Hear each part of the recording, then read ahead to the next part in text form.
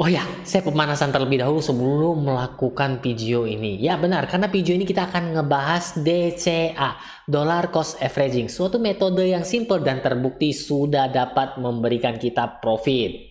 Nah, sebelum masuk ke video lebih lanjut, saya ingin kasih tahu terlebih dahulu, ini posisi WIM saya udah dapat antriannya ya. WIM udah sempat kita bahas di video sebelumnya.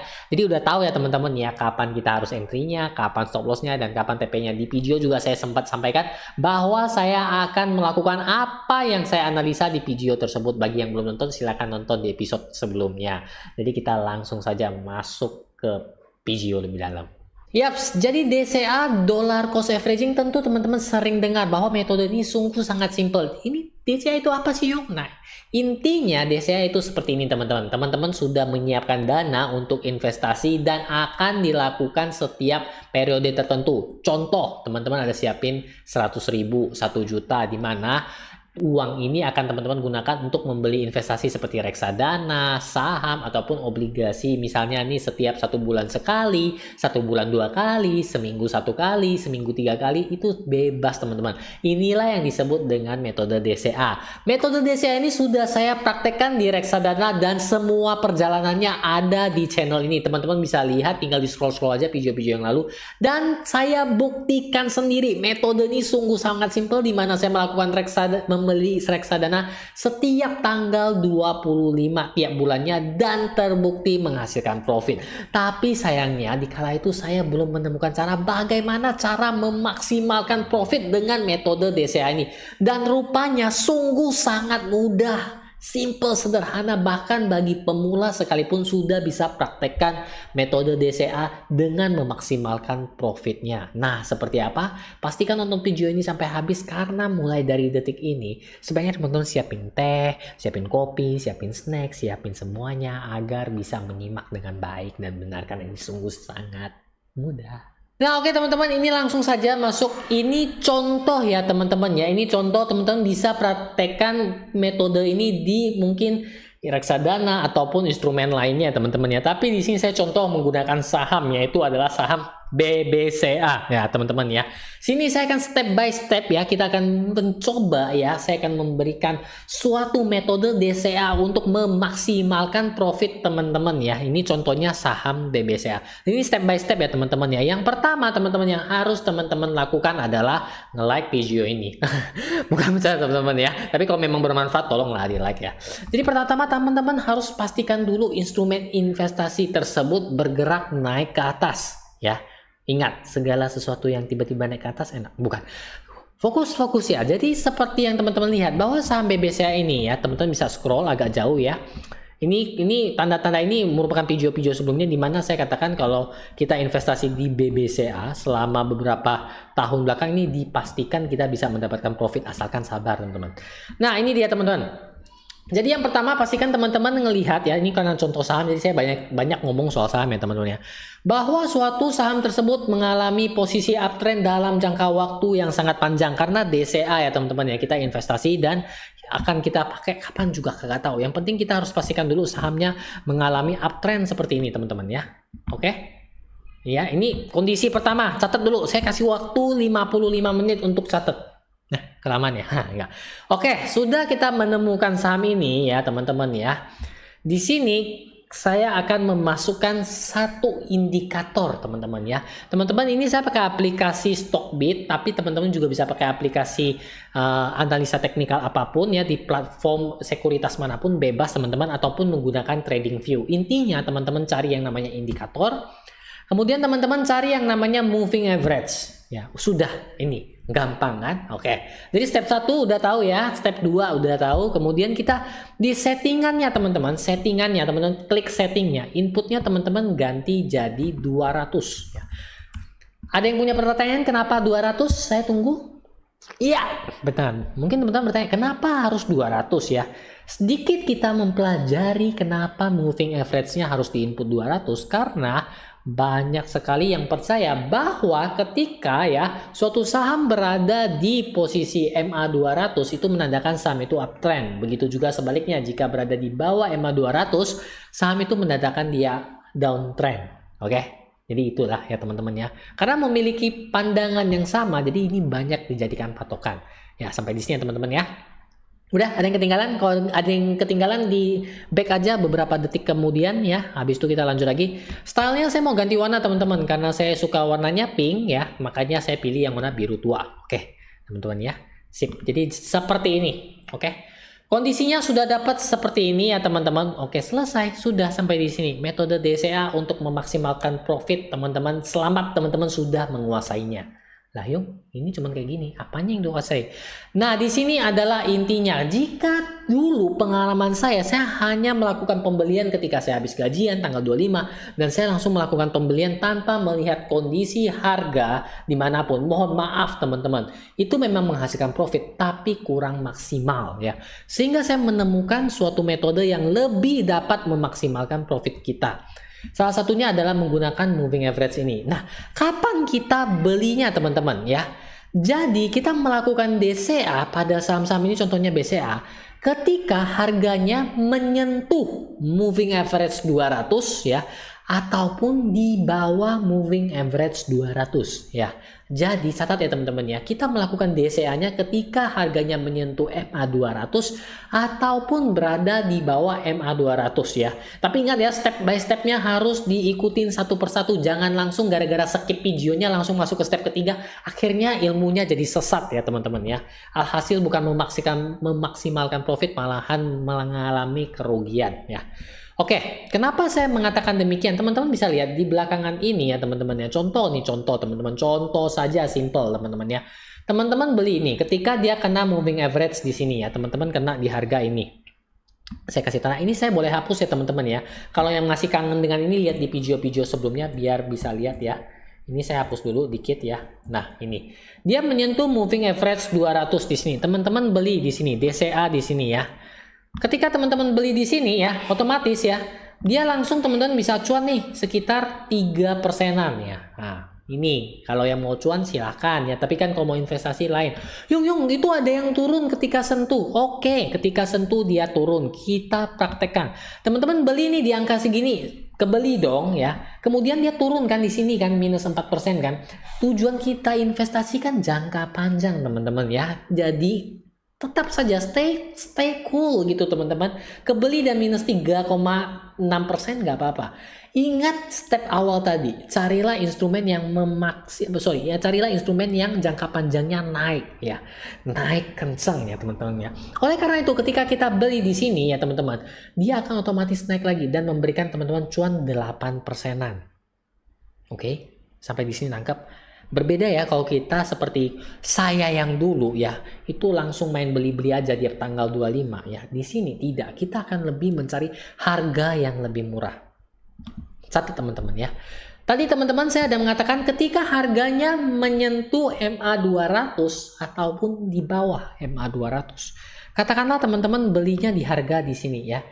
Ini kan memaksimalkan profit teman-teman. Lihat, ini malahan menjadi 11% ya. Yung Yung, apakah metode ini teruji? Sejauh kacamata saya memandang, oke, okay, metode ini teruji ya. Berdasarkan pengalaman saya pribadi di channel ini ya teman-teman ya. Saya nggak pernah hapus video, jadi teman-teman yang sempat langsung saja nobar bareng ya video ini dari awal. Teman-teman bisa lihat sendiri step by step saya melakukan DCA pada reksadana dan terbukti profit. Tapi di video ini saya menyempurnakan, berusaha untuk memaksimalkan profitnya teman-teman ya. Yaitu ketika dia menyentuh MA 200. Kita lihat, kita kasih tanda saja teman-teman ya di sini ya. Contohnya di sini teman-teman ya. Ini MA 200 ya. Ini jelek sekali ini. Saya pakai tanda seperti biasa yang ini aja teman-teman ya. Dia menyentuh MA 200 ya. Menyentuh di sini beli teman-teman bisa dapat profit sekitaran 10%. Ya. Cukup lah untuk bakso Malang satu mangkok ya. Kemudian teman-teman lihat di sini dia menyentuh MA 200 lagi, di sini dia naik sampai di sini. Lagi-lagi 11%. Cukuplah bakso Malang sekarang sudah dua mangkok bisa ngajak gebetan kamu ya. Benar kan? Yung kalau dia harganya di atas bagaimana ya udah biarin aja ya teman-teman ya nggak usah dipaksain ya. Jadi teman-teman bisa nyimpan dana nganggurnya dulu. Misalnya contoh nih sebulan teman-teman udah simpan nih keep 500 ribu 1 juta. Karena sampai BCA agak mahal kan jadi butuhnya 1 juta ya teman-teman ya. Teman-teman keep nih satu bulan 1 juta. Sudah simpan dulu mungkin di reksadana pasar uang ataupun simpan di mana dulu ya. Ketika dia menyentuh 200 tarik tuh dana beli BCA ya gitu. Oke? Okay? MA 200. Menyentuh MA 200 beli nih, seperti ini. Menyentuh MA 200 beli. Dapat lagi sekitaran 5%. Dan teman-teman ini sudah saya perhatikan ya, tapi memang dalam kondisi-kondisi tertentu seperti COVID kemarin ini merupakan jeblok yang agak dalam. Tapi ingat teman-teman ya ini ya di tahun 2020 ya. Selama ya kita DCA secara rutin teman-teman ya dan kita sudah pilih aset yang seperti contohnya BBCA ini menghasilkan profit teman-teman ya. Karena lihat dia balik naik lagi ya. Jadi kalau teman-teman beli harga rendah, teman-teman ketawa. Bahkan kemarin ada yang komen dia berharap kapan dia nanya saya kapan krisis lagi mau beli harga lebih rendah. Saya bilang jangan deh, amit-amit ya. Seperti itu.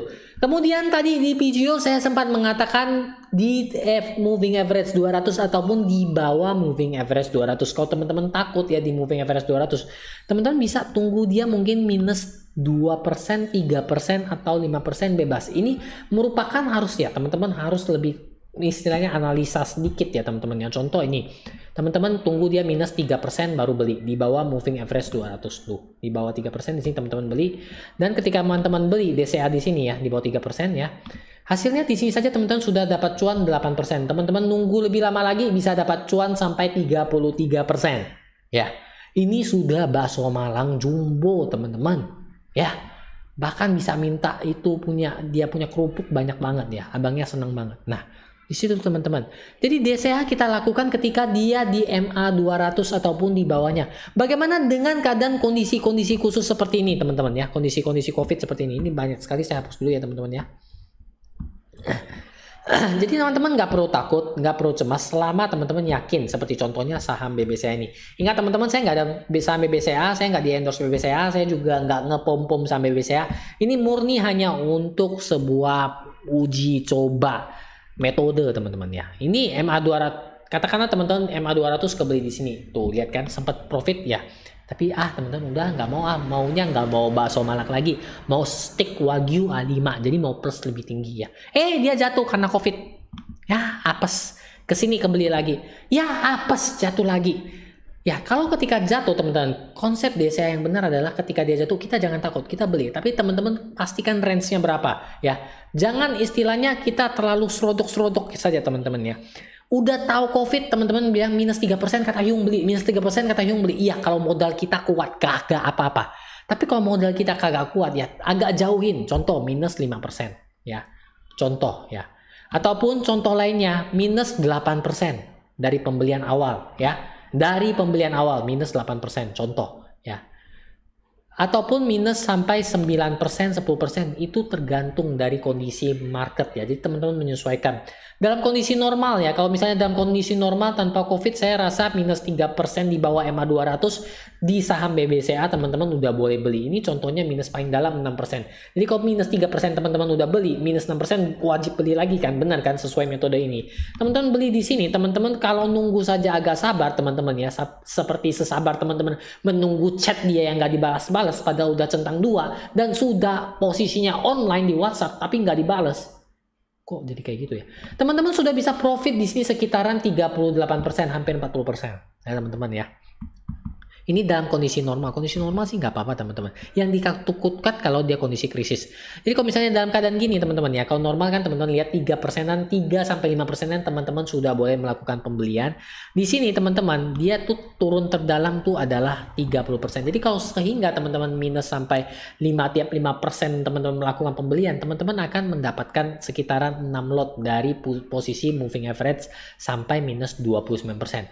Tapi dari sini teman-teman, teman-teman sampai sini saja itu sudah plus 3, hampir 40%. Bayangin ya. Ke sini teman-teman plusnya 50%. Ya. Jadi seperti itu adalah konsep DCA untuk memaksimalkan profit. Ingat teman-teman, step by step. Pertama, kedua, ketiga, keempat, sampai ke 99. Panjang banget, nggak sepanjang itu. Ya, kalau untuk kondisi normal ya, kita bebas ya 3 persenan, teman-teman udah boleh nyicil. Menyentuh MA 200 di sini seperti ini ya. Menyentuh MA 200, teman-teman juga udah boleh melakukan pembelian. Ini lumayan loh, cuannya 26%, kenapa enggak ya ataupun teman-teman mau nunggu dikit di bawah MA 200 minus 1-2% di bawah MA 200 silahkan ya jadi teman-teman sesuaikan dengan kondisi market di kala itu, sesuaikan dengan juga modal kita dan pastikan teman-teman sudah mempelajari step by step dari tadi yang saya sampaikan. Nah, mudah banget kan metode DCA yang mampu memaksimalkan profit kita. Nah, apabila teman-teman sudah nonton video sampai di sini, saya mau kasih teman-teman PR. Tenang, tenang, tenang, tenang. PR ini sungguh sangat bermanfaat dan pastinya sangat berguna bagi teman-teman daripada teman-teman nonton video 18 plus Nah, maksudnya video yang ditonton oleh 18 orang ke atas ya. Jadi rame-rame nontonnya kayak video ini, rame-rame ditonton ya gitu ya. Balik lagi ke PR-nya teman-teman. Jadi PR yang akan saya berikan kepada teman-teman adalah coba teman-teman temukan saham seperti contoh BBCA karena BBCA kan mungkin harganya agak mahal ya. Sehingga kalau kita melakukan DCA itu butuh modal yang lumayan gede. Coba cari saham-saham seperti itu, masukin step 1, step 2, step 3, step 4-nya. Cari di mana saham-saham, di mana step satunya dia mengalami long term uptrend ya, naik secara jangka panjang. Kemudian dia sering melakukan pantulan-pantulan di MA 200 dan jarak di kondisi normal, di kondisi ekonomi normal yaitu antara MA 200 dan harganya tidak terlalu jauh. Maksimal contohnya 10%. Teman-teman coba analisa, coba analisa. Karena di BBCA sudah saya lakukan analisa, itu kurang lebih ya maksimalnya hanya sekitaran 6 sampai 8%. Jadi sehingga di video ini saya berani memberikan contoh di kisaran minus 3% sudah boleh melakukan DCA lagi. Karena dia hanya sekitaran 6 sampai 9% ya. Itu untuk memaksimalkan profit dari metode DCA. Teman-teman tulis di komentar sehingga teman-teman yang lainnya kita bisa saling sharing dan bisa menentukan wah rupanya banyak sekali saham yang bisa kita DCA. Seperti itu teman-teman. Bermanfaat kan bagi diriku dan dirimu? Benar kan? Oke teman-teman, jadi sekian dulu video kali ini. Jangan lupa tinggalkan like-nya bila video ini teman-teman merasa bermanfaat buat teman-teman dari sisi mana aja sih ya. Oh ya teman-teman, kalau teman-teman ingin nonton video-video baru lainnya yang gak kalah serunya, jangan lupa subscribe saya di sini ya teman-teman ya. Oh iya, bagi teman-teman yang ketinggalan episode yang menarik sebelumnya, teman-teman boleh nonton video di sini ya. Oke, akhir kata saya ucapkan banyak terima kasih yang telah nonton sampai di sini. Sampai berjumpa lagi di video-video berikutnya.